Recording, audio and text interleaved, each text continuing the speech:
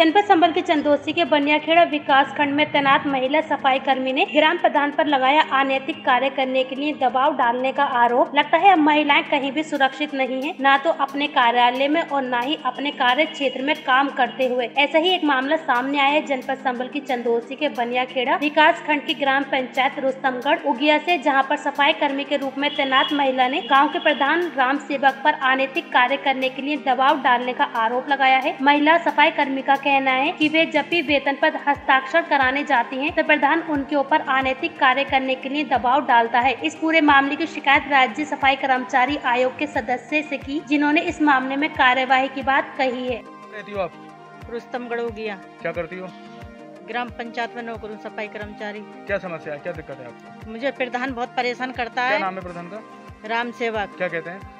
कहते हैं कि मैं जब भी वेतन पे साइन कराने जाती हूँ तो बोलते हैं हम तुम्हारा काम करेंगे तुम हमारा करो। तो मैंने ये बोला प्रधान जी तुम्हारा काम क्या है? बताओ मैं वो लड़के से कह के करवा दूँगी। तो कहा हमारा ये काम नहीं है हमारा तो और ही कुछ काम है। क्या काम? मैंने पूछा तो कहा हमारा क्या काम है? हमारा काम करवा दो। हम्म। किस किस और इशारा है उनका? क्या कहना चाहते हैं? वो यही कहना चाहते हैं गलत शब्द बोलते हैं मुझसे। और मेरे ऊपर हाथ भी चला दिया था।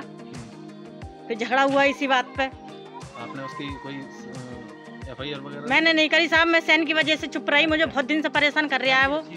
अच्छा ग्रामीण अंचलों में सफ़ाई कामगारों के साथ स्थिति ये बन रही है चाहे महिला हो चाहे पुरुष। इन पे कई अधिकारी इनके काम को देखते हैं। अब प्रधान जी जनहित है। जनहित से वो प्रधान बनते हैं। तो अगर कोई महिला सफ़ाई कामगार उनके यहाँ काम करती है अगर उससे अपमानित व्यवहार करते हैं तो मैं समझता हूँ बड़े दोषी हैं। आयोग ने कहा है कि इसकी जाँच कराइए और प्रधान जी के विरुद्ध कार्रवाई की जाए।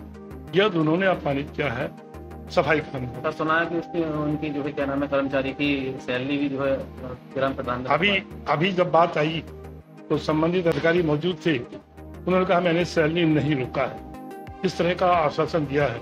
यह तो फिर भी आयोग इस बात की जाँच करा लेगा कि क्या आपने सैलरी रोकी जैसे बताया गया है कि प्रधान कराएँगे शारीरिक संबंध बना हुई है तो इस तरह की बातें जो उन्होंने कही इस पर क्या कार्रवाई होगी आपका देखिए ऐसा है ना कि पीड़ित महिला तो आज मौजूद नहीं है यहाँ। कुछ लोग ज़रूर मौजूद थे परंतु उन लोगों ने कहा है।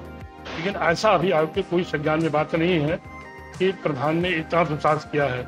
और यदि प्रधान या कोई भी व्यक्ति सफ़ाई कामगारों के साथ ऐसा दुसास करेगा तो उसके लिए कानून है। उसके लिए कानून है, उसके लिए मुकम्मल आयोग उसकी शिकायत कानून से करेगा, कानूनी काम करेगा।